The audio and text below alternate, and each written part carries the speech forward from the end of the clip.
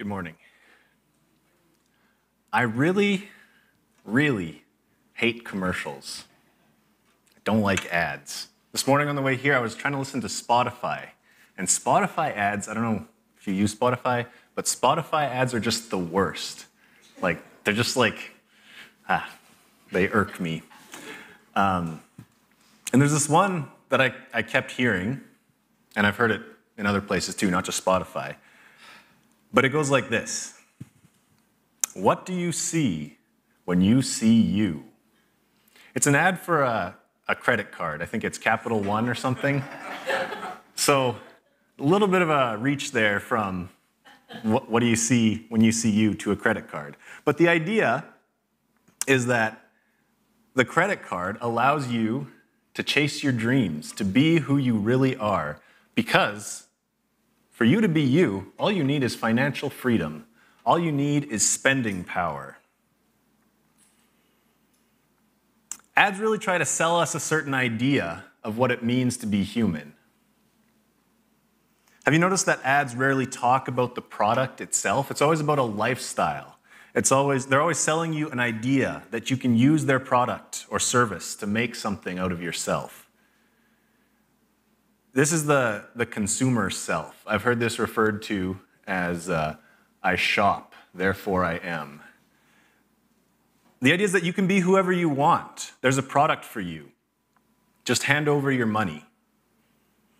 Think about yourself for a moment. Look at yourself. Who do you see? Who do you want to see? As if we don't spend enough time already thinking about ourselves. As if we don't spend enough time concerned about how other people see us. But the science of advertising is more or less the science of mind control. If they can change the way that you, that you see yourself, they can make you do just about anything. And it turns out they can. It works. We get bombarded with ads promising to make us something, to make us who we really want to be. And it's kind of a bait and switch because they bait you with this idea of you need this to be what you want to be. And then you do what they say, you go out and buy it, and then there's the switch. Actually, it's one more thing you need. That was good, but you just need a little bit more. What do they see when they see you? Sorry to have to say it, but they see dollar signs. They see a cash cow. They see someone they can make money on.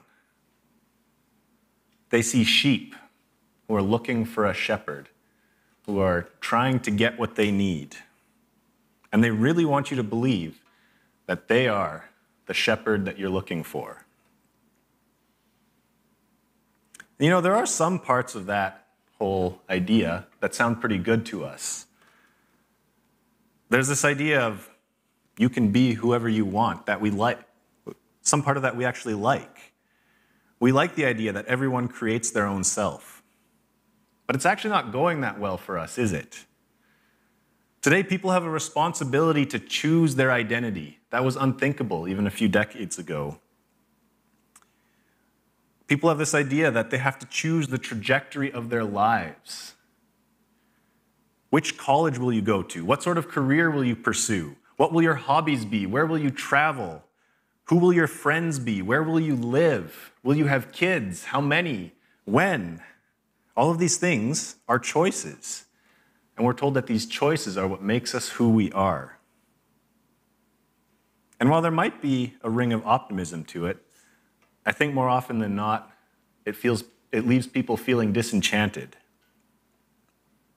A lot of people feel like they should have accomplished more, like they made the wrong choices like it's their fault that they are who they are. Because if you can be whoever you want, then whoever you are is entirely your fault. So, what do you see when you see you? It may be no surprise that the creation story in Genesis chapter 2 gives a very different idea of humanity. The first thing we see here is that humanity begins as a lump of dirt. but a lump of dirt in the hands of God. God forms the human from the ground. He gives the man his shape. And then God breathes into the human, and the human breathes out, and in and out. And Adam comes alive. Then God sticks his hands into the dirt again, and this time he pulls up palm trees and grapevines and every tree that is pleasant to the sight and good for food. God has planted a garden for Adam to live in. He can live here in the shade of the trees and eat from the and eat all of their fruit. God gives the human a place to live and a way to keep living. So we see that while the human has life within him, life always comes only from God. In the center of the garden, God plants the tree of life. And all around the tree, life springs up. We see a river flowing out from the Garden of Eden, and it splits into four rivers. And these rivers bring life to the whole earth. From the garden, life spreads across the face of the earth. We see that in every way, humanity, humanity depends on God for life and being. The human is placed in the garden to till it and keep it. Adam's life has meaning and shape because of God's command. Till the ground, spread life from the tree to the whole earth. And this is a positive command. This is God saying, Adam, this is who you are. Be who you are. This is how to be what I have created you to be. But also in the center of the garden, we see the tree of the knowledge of good and evil. And to this tree there and this tree comes with a command. Of the tree of the knowledge of good and evil, you shall not eat, for in the day that you eat of it, you shall die. Suddenly in the garden of life, we see death. Where did that come from? What's that doing here? Right next to the tree of life, we find the tree of death and everything evil is bound up in that tree. So don't eat from that tree. The only don't in the garden of life is the one that leads to death. The command of God is for the human to live and keep living. So don't die. Here in the center of the garden, we see the source and limit of the human being. God gives life through the tree of life. Adam will live as long as he is connected to his source. This is who you are, Adam. This is where your life comes from. And so the tree of knowledge is a limit. It's God saying, This is who you are not. The knowledge of good and evil represents the possibility of finding life apart from God. It's the limit because it is something that the human cannot do. He can't be his own source of life. It's the tree of death because death is what happens when a being who is not God tries to find life apart from God. Life only comes from God. God is the only source of life. So, at every point in this story, we see that life is something humanity receives from God. So, don't unplug from the source. Don't think that we can figure this out on our own because we can't. We are not God. There is no life in us that is not from God. We can't create life for ourselves. The moment that we think we can is the moment that we begin to die. It's the moment that the breath that God has given us begins to slowly slip away. And so, this idea of humanity sounds a lot like something else we see throughout Scripture sheep. We see a lot of sheep in Scripture, don't we? Humanity is described as sheep who need a shepherd. Sheep really have a hard time figuring out how to live. Uh, they're really good at finding ways to die. Sheep without a shepherd end up harassed and helpless,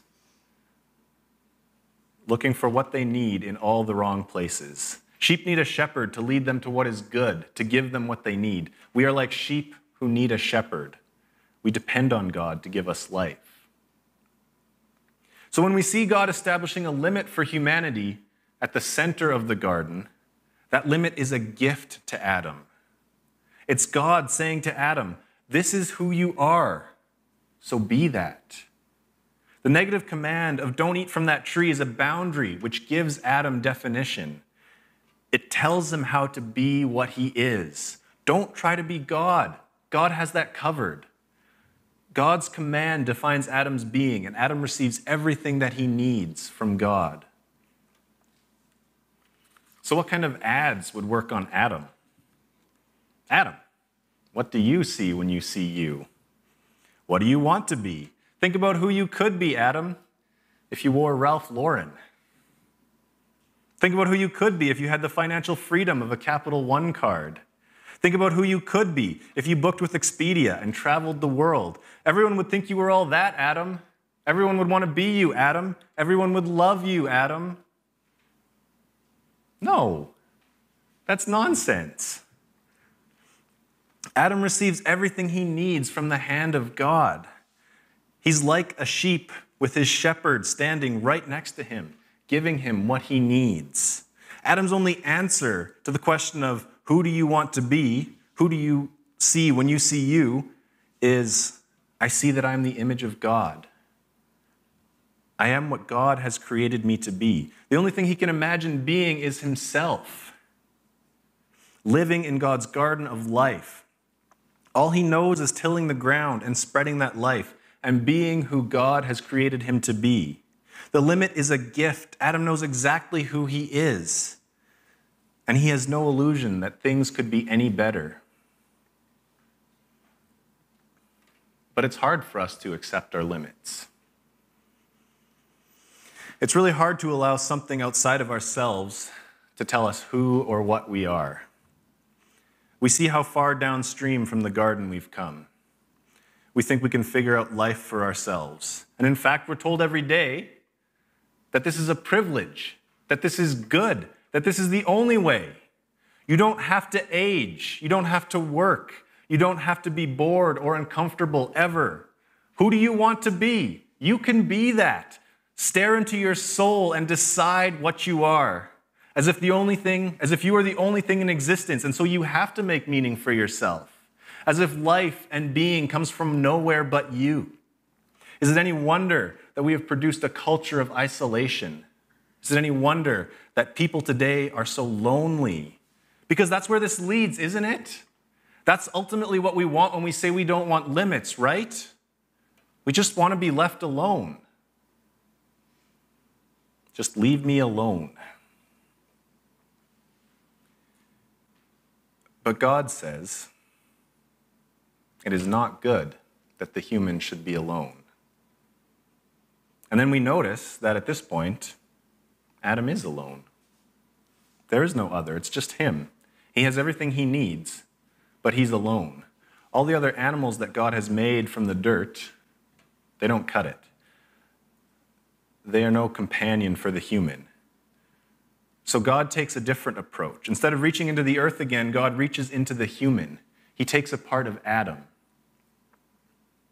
and he forms it into another human. What is this other creature? Adam sees her and he's overjoyed. At last, he exclaims, This is bone of my bone and flesh of my flesh. This other person is like him because she is from him, but she isn't him, and he isn't her. This is another person. Adam isn't alone. And again, we see limit and being. For Adam, the other person is both his being and his limit. He is her, but he is also not her. She knows him, she is from him. She knows that he is a limited creature who depends on God for life, and yet she loves him and he loves her. She knows him. Oops.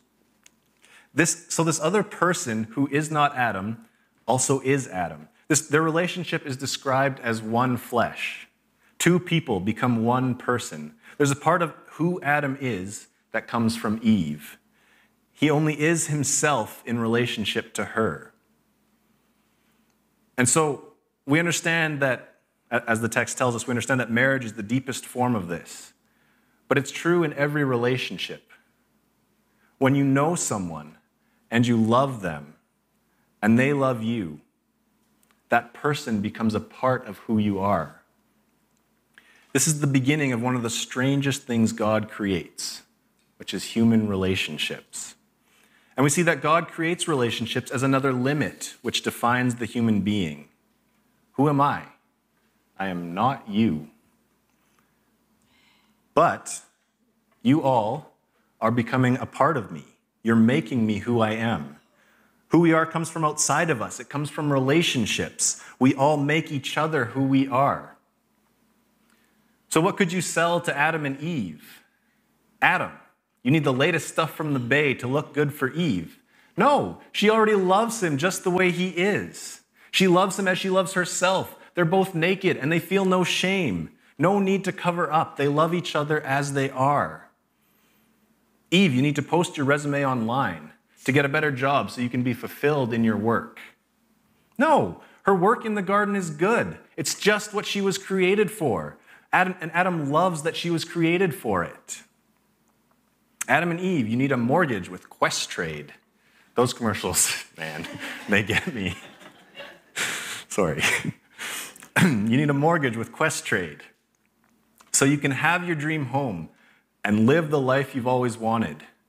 No, they already have the life they've always wanted.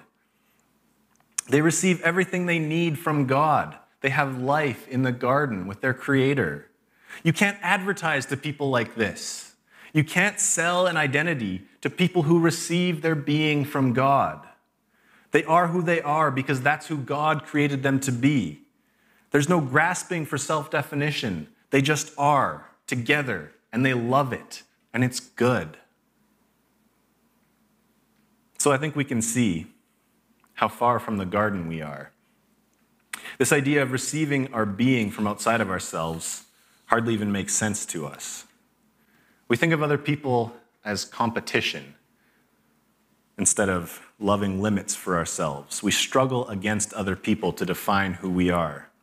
We take advantage of their limits and we hope that they don't find out ours. We protect our own at the expense of others because there's only so much to go around. We can't all have the good life, can we?